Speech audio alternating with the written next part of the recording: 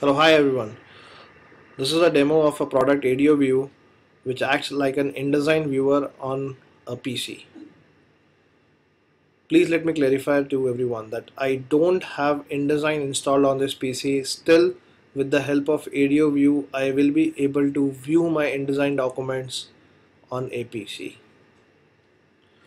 ADOView tightly integrates into Windows Explorer and Microsoft Outlook. First I'll demonstrate the integration in Windows Explorer and then I'll do a short demonstration of how it integrates into your Microsoft Outlook. Right now as you see on the screen the ADOView is integrated in the Windows Explorer and by toggling the preview pane in Windows Explorer I can see the ADOView software. I have an InDesign document selected in my Windows Explorer and I can see a preview of it. I do have some other advanced options over here which allows me to preview the complete InDesign document. I can see the preview of all pages on my InDesign document.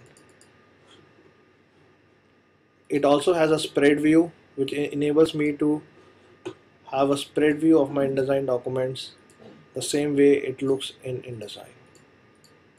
I can also see information of some of the metadata types like fonts, colors, links. It also has an option where I can see the thumbnails of each page. Some more options to do a zoom. That's it. So now let's have a demonstration of how it works in Outlook. In Outlook I have an email which has two attachments to it both are InDesign documents so when I select any attachment I see the preview of that InDesign document right in Outlook itself. This is how with the help of ADOView you can view your InDesign documents without having InDesign installed on your PC. For best results in ADOView there are certain options in Adobe InDesign which you must set when saving the when saving your document in InDesign. In your preferences under file handling tab there is an option where you select which for which all pages you want the preview to be generated.